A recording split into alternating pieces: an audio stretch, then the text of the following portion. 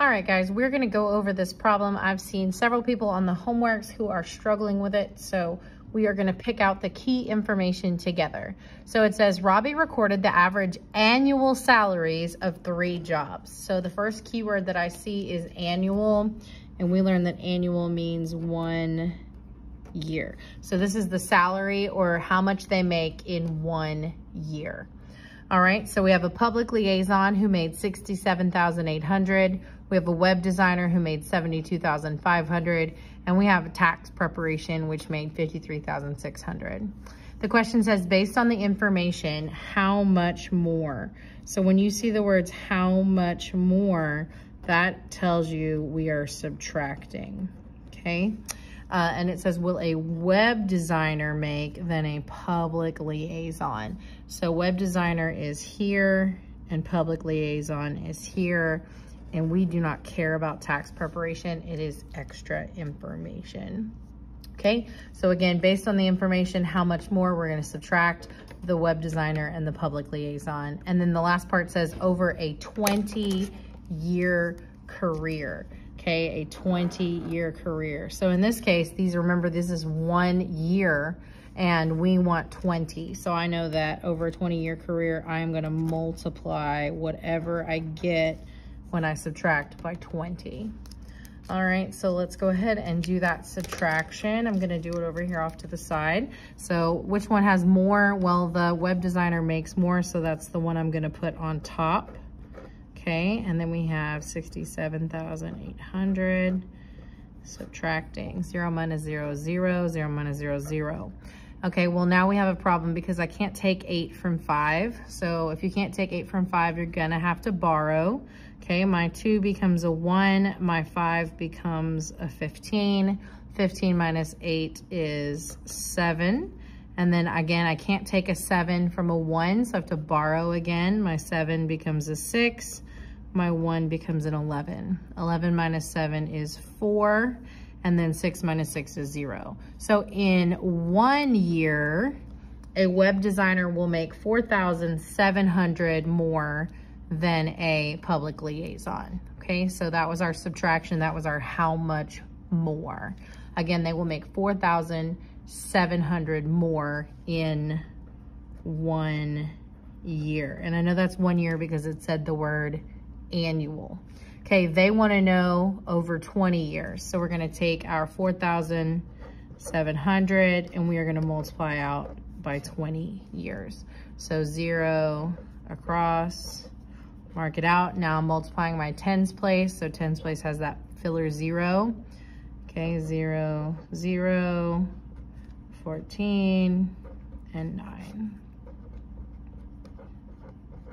Okay, so over a 20 year career, a public liaison and a web designer will have a salary difference of $94,000, $94,000. It's over 20 years.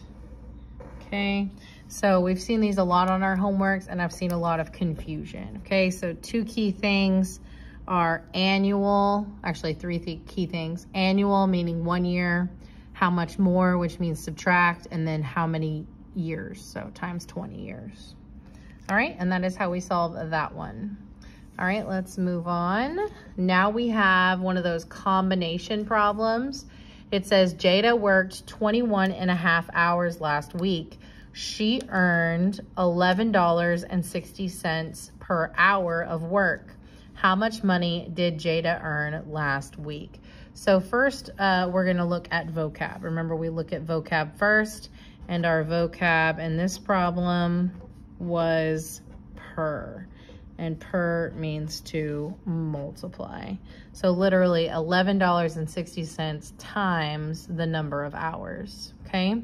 In this case, we had 21 and a half hours, okay?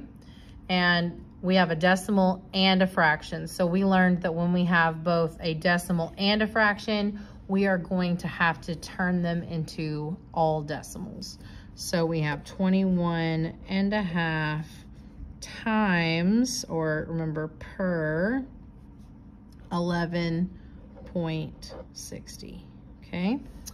All right, so I know that when I'm converting a fraction, I can just keep the whole number. So my 21 will stay the same. I'm gonna drop my decimal and then I need to cowboy and horse my fraction. So I'm gonna come over here, cowboy in the house, horse outside, okay? All right, two does not go into one, but it goes into 10 five times, and we end up with zero. So this is actually gonna be 2.21.5, okay? We kept the 21, and then 0.5 is the one half. And then now we can multiply by 11.6 or 11.60. Again, this was already a decimal. I don't need to change it. But when you have both a fraction and a decimal combined into a problem, you need to convert using cowboy and horse.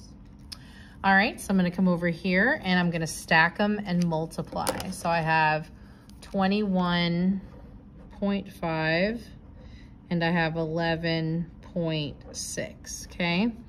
Um, I don't have to line my decimals up, but in this problem, it actually worked out. I remember I didn't need the zero at the end because it's not necessary. So I'm gonna multiply out the six. So that's 30, nine, and 12. Got rid of the six, got rid of my carry, dropped a zero because I'm in the tens place. Okay, now multiply that out. Five, one, two. No carries. This time I'm multiplying out the hundreds place. Five, one, two. I'm ready to add. I have 0, 14, 3, 4, 9, 3, 4, and 2. And then my last step is to count my decimal places. So I have 1, 2 behind the decimal. So I will bunny hop 1, 2. So this is $249.40.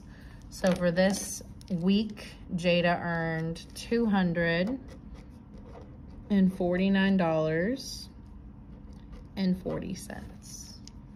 All right, and that is how we solve a fraction decimal combo problem. Remember, focus on vocabulary first, then change them to decimals, and then solve.